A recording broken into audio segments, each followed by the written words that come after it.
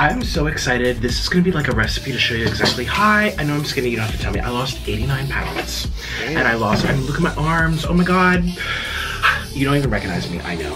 And this is not pre-recorded. Everyone keeps saying you don't post as much anymore. I feel like you're, it's not old. What the heck? This is, first of all, you know it's new because this Little Caesars uh, pretzel crust has only been out for like a couple of weeks. Oh my god. Breadley's losing weight. Nikocado Avocado is now losing weight. It is honestly incredible what the human mind can do. You can literally do anything that you put your mind to it. You could lose that weight, you could climb that tree, you can study for those A levels, for all those exams.